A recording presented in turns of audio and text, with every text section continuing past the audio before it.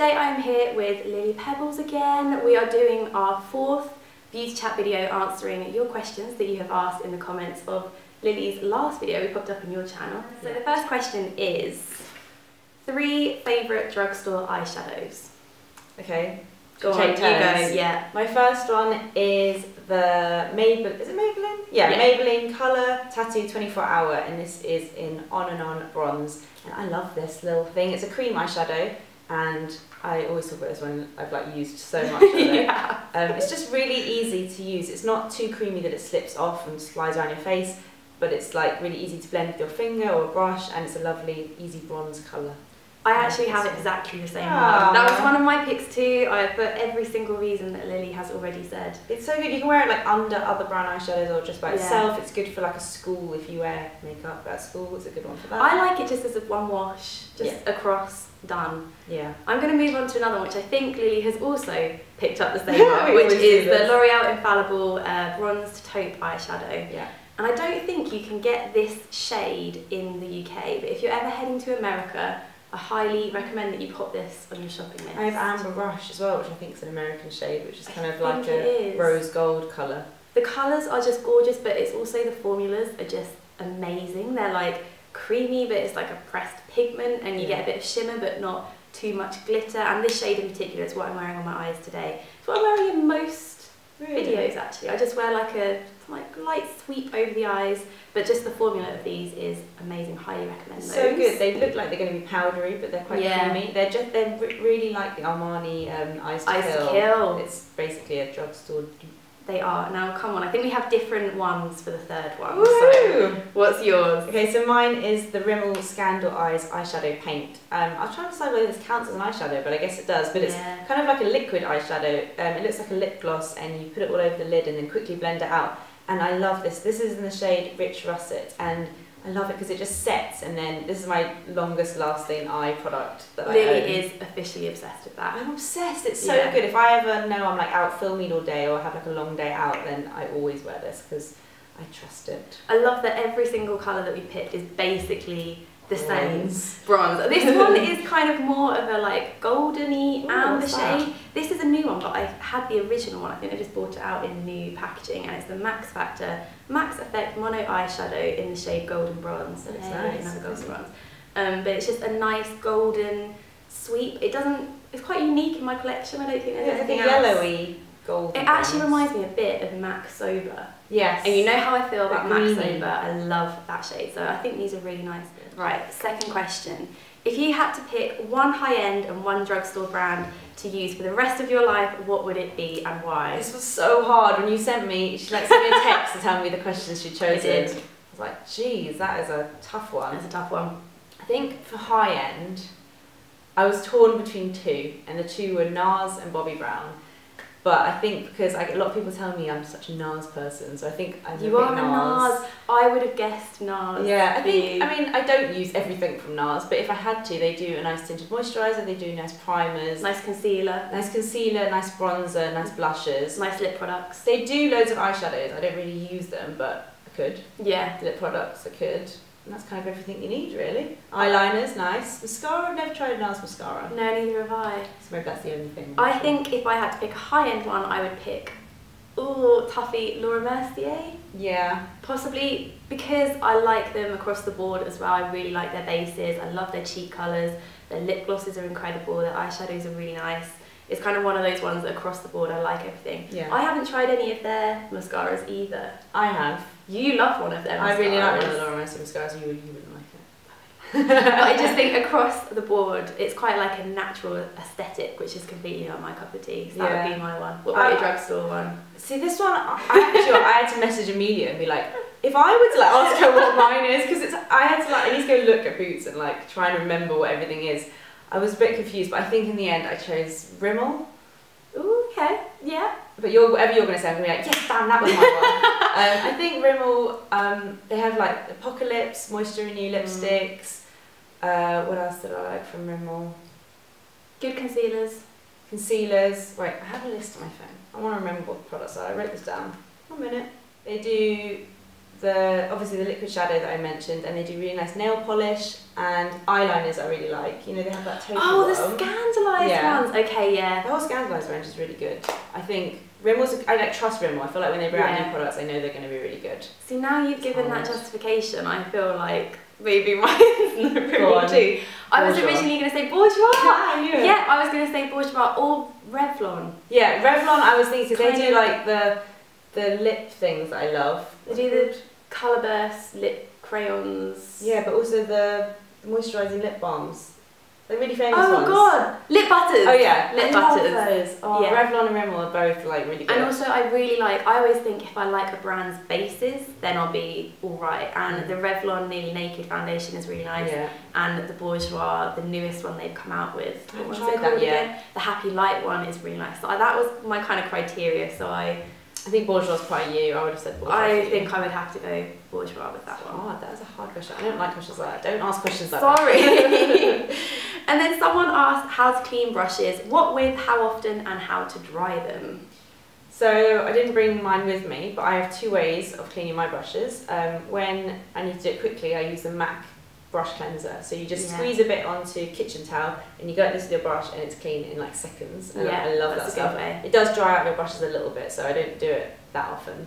But when when you're in like a time pinch Yeah. situation, that's the one Exactly. And when I deep cleanse, is that what it's called? Deep clean? Yeah, deep clean. Yeah, Yeah. with my brushes, I use the Dr. Bronner Magic Soap, which you can buy like anywhere, like all the online like beauty websites and American Yeah. Apparel and stuff. Um, and I just, how do I do it? I run my brush underwater, downwards. Yeah, you never want to get it into this bit. You never want to get the water yeah, it always has to be the other way around. Is it called the ferrule? Yeah, ferrule. Um, put a bit, of soap in my hand, swish the brush around, squeeze it all out, and then lie it flat to dry. And it's really quick and easy. I put some music on or watching YouTube videos. I quite enjoy it. I usually watch YouTube videos Yeah. as well. I do the same, but for the first like spot cleaning one, I use this, and it's the the Pro Hygiene Collection Makeup Brush Cleaner. Wow, what, This what's one. the brand? Pro Hygiene Cleaner? The Pro Hygiene Collection, Ah. I think. Um, Never heard of that. Pro Hygiene Collection. I got it from Cult Beauty, and I've used the MAC one before, but I prefer this one because it has spray, and it has the Ah. coolest spray. It's one of those sprays that just like gets right into the brush. You spray it onto the brush? You spray it like onto the brush. Like, shh, shh. I'm not gonna spray it. Don't worry. Um, you just spray it onto the brush, and then I do the same thing. I just put it on a bit of kitchen roll. The colour comes out, and it's dry in like a matter of seconds. Might have to try that. Is it expensive? Cheap? Mm, I think it's around the same price As as MAC. the MAC one. When I- mine runs out, I'm going to try there you that. go, that's a good one. And then I use the Dr. Bronner's as well. But my tip is when you lie your brushes to dry, I dry them on like flannels. I like Yeah. lay out my flannel over this one. Is to dry them hanging off the side of a table like that. So this is your table, you put it on like that, and then you don't ever get a flat side of the brush. You get a fully fat, fluffy brush. Keeps its shape. Keeps also, like to shape. reshape them slightly. If it's like a tapered brush, I kind of Do that while mould it's damp. Yeah, That, that was quite, there's a lot of tips there there. was a lot of tips. Yeah. I think I did like a whole post on cleaning brushes. It's quite a I will find it, I will link it below. the next question is best tip for covering under eye circles. I get quite. Actually, I used to get really bad under eye circles. They're not as bad anymore. I sleep a bit more these days. um, but I use two products. The first is the Bobbi Brown Corrector. This is really good because it's kind of one. peachy, salmony tone. So instead of just covering the dark circles, it kind of cancels out the dark Yeah. shade. And I like to just place it exactly where I need it. So I use like a flat concealer brush and I put it just in the inner corners and outer. And a good tip is when you're looking into the mirror, if you tilt your head down, you can see where the shadow Oh God, is that's under your eye. terrifying when you look down. Yeah. That's never a good look. So I just I use that, blend it out, and then I use my NARS Creamy Radiant Concealer on top, um, which is nice. It's kind of brightening for the under eye That's a nice combination. Yeah. I always think with dark circles for me, it's just the way that the skin hangs over my face. There's kind of not much that can really like be done with it. I just have dark circles. Aside from when I sleep more, I do notice that they kind of cancel them out and drinking water and all that kind of jazz. Um, I like these. Have you tried these yet? We tried them in that video we did with Amelia, didn't we? I tried. You one. tried yeah. them. The Skyn Iceland um, Hydrocool Firming Eye Gels. These are just like really cool pads. I guess you could get a similar effect from using like cucumber, but fancy something a little bit fancier. These you just kind of slap right under your eyes. I'll link a video below where Lily actually uses them. It's quite entertaining. weird at first, but they do feel nice and They feel like shoe inner soles, but they feel really nice and cooling under the eyes. So Yeah. if it's more puffiness that I need help with, I go for this.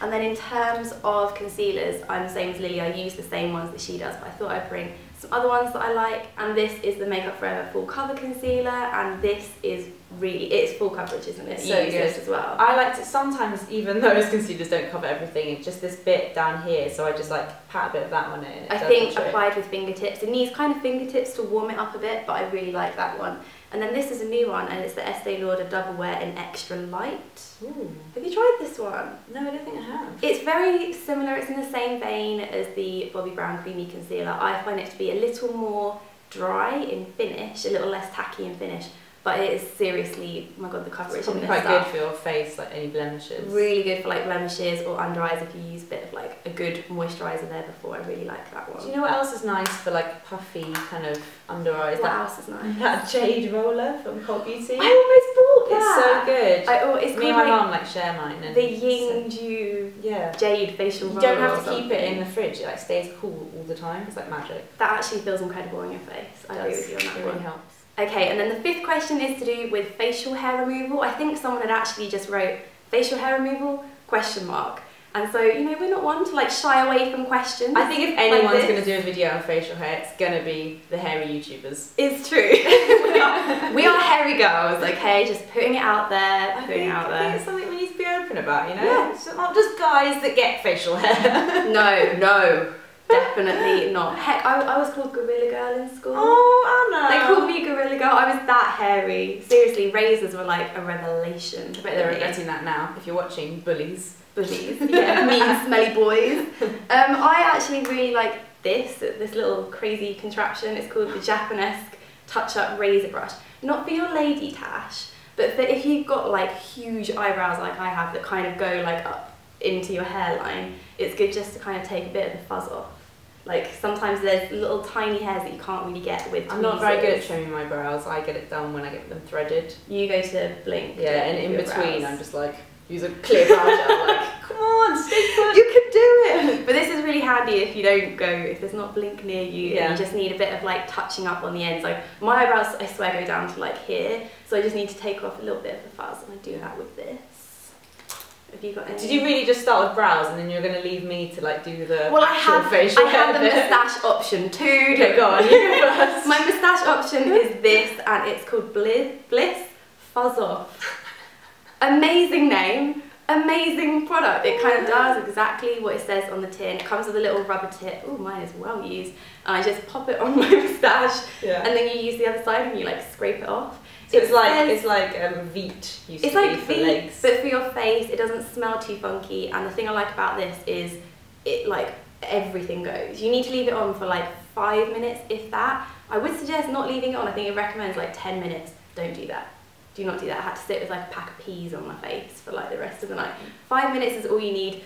Don't do it when you need to go anywhere because you will have a bit of a like red moustache left and that's just not a good look. But the morning after, no moustache, no funky smells, amazing.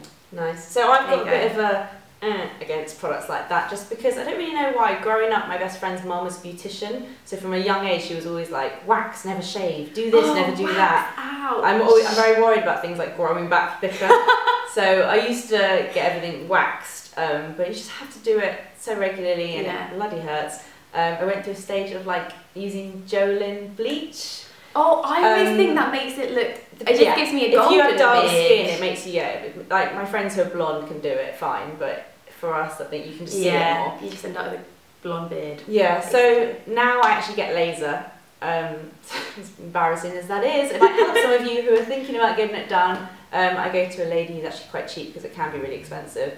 And it kind of hurts, but it lasts. I only have to go like every three months, It's maybe. amazing. And it's awful because they have to shave first, which is like the most traumatic thing to have to oh. shave your face. It's actually horrendous. But they shave it first because there can't be any hair there, and then they kind of like they put this like machine on it, like zaps like it's like a red oh. light, and it's a bit of like a ooh, but it's not as bad as threading. It's definitely not as bad as plucking, and it's, although it's slower than waxing. One thing I like about waxing is like one strip. Yeah, It's done. slower, but it lasts for ages. It's really worth it. Um, if, there's loads of like discount codes I think for like laser treatments, Mm. but I really think it's worth it. I love laser. I would get it everywhere if I I'm could. definitely gonna get hooked up with Lily's laser lady. I use laser on my underarms now, and oh, genius! Genius! I'm not gonna lie, it's the most painful thing I've ever done in my life. I was, I was swearing my head off in this poor lady's house. But oh my god, I haven't had to shave my underarms for like six weeks. I've never experienced anything we like can't be friends. I'm just It's amazing. just upset about So that. we have like dark hair, so this is very exciting yeah, to This us. is very exciting. Um, Lily's already converted me to her hairdresser, and I think her laser lady is going to be the next person in my phone book. um, And then the final question someone asked was we, we get asked quite a lot of questions about this actually, like starting YouTube or starting a blog and all those kinds of things. And me and Lily were actually going to put together a little series, aren't we? Very early next year. So if you're interested in our advice on that kind of thing, we will answer every single question. we're literally going to be doing like six videos over our, both our channels Yeah. in January because you know a lot of people like to start blogs and YouTube channels then. And If that's- be If that's your New Year's resolution, yeah. done. We're going to be sharing lots of tips and showing like what we use and how we do it and stuff. So There you go. So keep an eye out for that. And then our next beauty chat video will be going up on Lily's channel. So check out her channel. I will pop a link below here on her face, somewhere, everywhere. there will be links to Lily's channel. And for our next video, we're actually inviting our friend Amelia from Liana Beauty to come and be in it too, which we're really looking forward to. It'll be Christmas jumpers galore. It will be great. So if you have any questions for us, then do pop them below and we will answer them in that video. Any kind of Christmassy beauty yeah, like conundrum? winter skincare. Amelia really knows her skincare. She has She amazing does. hair, so She add some does. hair ones in there as well. There you go, well. and we will answer them next time. But thank you so much for watching, and we'll see you guys soon.